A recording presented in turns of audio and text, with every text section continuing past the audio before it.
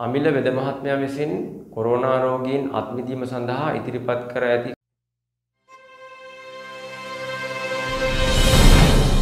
ආයිබෝන් ඔබ සියලු දෙනාටම YouTube වාහිනී නාලිකාවට සාදරයෙන් ඔබ සියලු දෙනාම පිළිගන්නවා.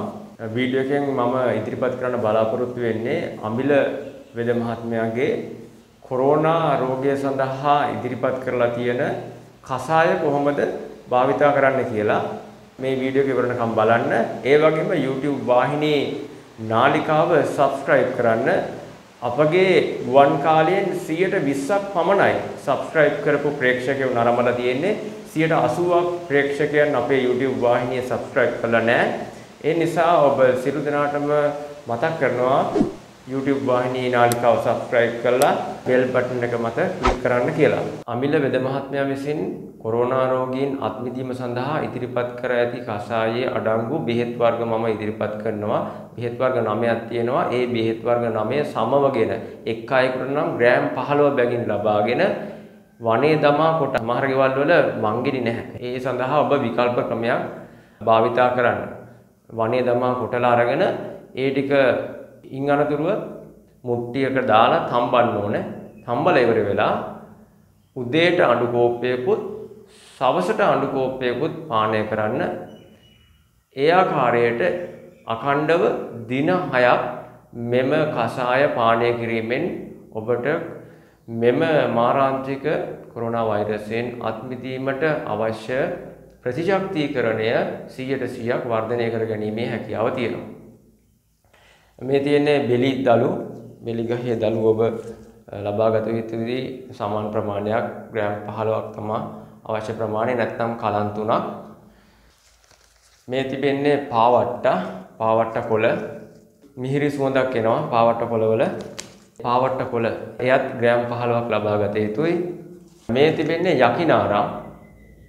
මේ යකිනාරම් යකිනා යකිනාරම් කොළ මේ විදිහට ලබා ගත යුතුයි මේ යකිනාරම් වල මේ දෙහි ගෙඩිය වගේ මේ හැදෙන ඵලය මේ ඔබට දකින්න තියෙන්නේ මේ ඉදිරිපත් කරන හතරවෙනි වර්ගය මේ තියෙන්නේ මදුරුතලා. මෙතන මදුරුතලා ඔබ දැනගන්න ඕනේ මදුරුතලා වර්ග දෙකක් තියෙනවා. හීන් මදුරුතලා සහ මේ මේ මම කොළපාට මදුරුතලා එක වඩා හොඳයි.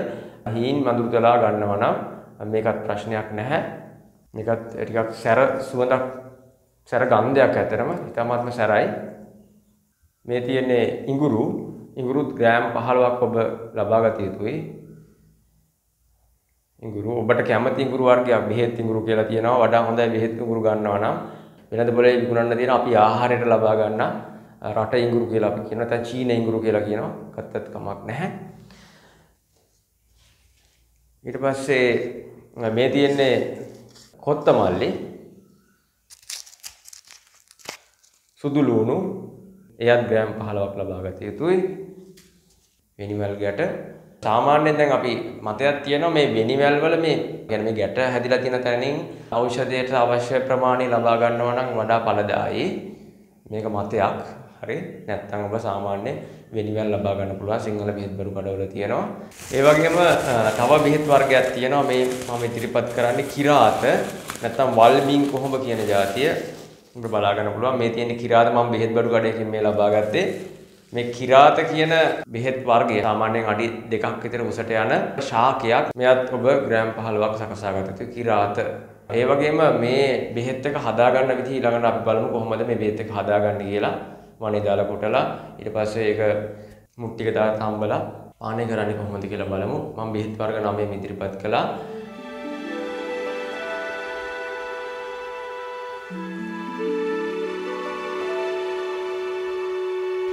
බෙහෙත් සඳහා අවශ්‍ය වන පොත්ත මල්ලි මේ විදිහට බැද ගන්න ඕනේ කබලක බැද ගන්න ඕනේ. මම මේ විදිහට මේ ටික බැද ගන්නවා මේ විදිහට වෙනිවගට් ටික පොඩ්ඩක් කපා ගන්න ඕනේ දැන් මේක. මේ විදිහට තියෙන එක.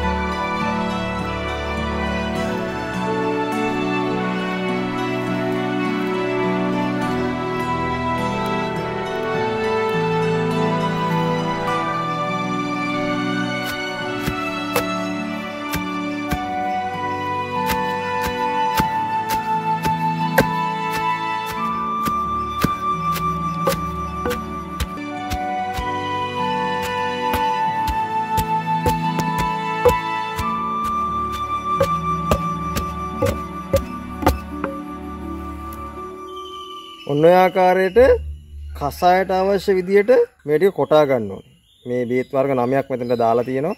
දැන් මේක ඊළඟට මුට්ටිකට දාලා රත් කරගෙන ඒක පෙරර අරගෙන උදේට පතක් ඒ කියන්නේ අඬු කෝප්පයකුත් හවසට අඬු කෝප්පයකුත් දීවුවාම ප්‍රමාණවත් ඒ ආකාරයට දින 6ක් මේ භාවිතා කරන්න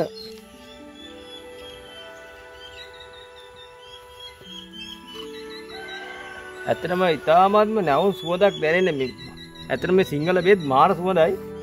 ඉංග්‍රීසි බෙත් වගේ නෙවෙයි. කොටාගත්ත ටික දානවා මේ විදිහට. භාජනයකට දාගන්නවා.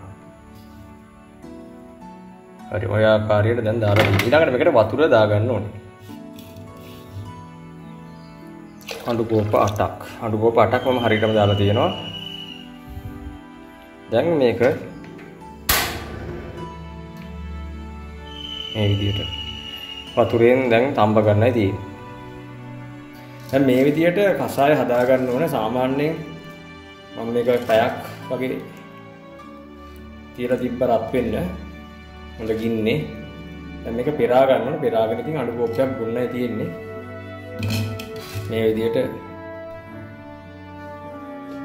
පෙරා ගන්න ඕනේ.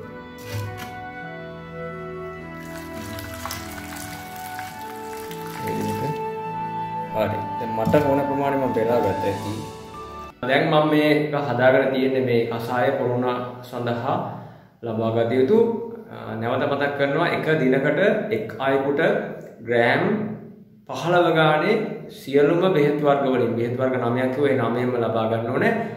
ඒ 9ම එකතු කරලා කොටලා ඉවර වෙලා ඒක හැඩිය දාලා තම්බලා උදේට අනුකෝපයකුයි හවසට අනුකෝපයකුයි බොන්න ඕනේ. ඒ විදිහට දවස් 6ක් එක දිගට මේ පානය කරන්න කියලා අමිල් වෙද මහත්තයා කියලා තියෙනවා. බලමු අපි කොහොමද මේක බීලා කියලා අනිවාර්යෙන් රසයි තිත්තයි මම මේ සීනි හෝ කිසි දෙයක් නැතුව තමයි බොන්නේ. ඔව් හොඳටම තිත්තයි මේක.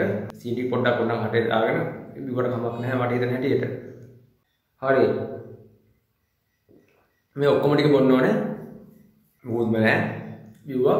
ඉතින් මේ වගේම තවත් ප්‍රතිශක්තිකරණ පාන විවිධ වෛද්‍යවරුන් විසින් දේශීය වෛද්‍යවරුන් විසින් ඉදිරිපත් කරලා තියෙනවා.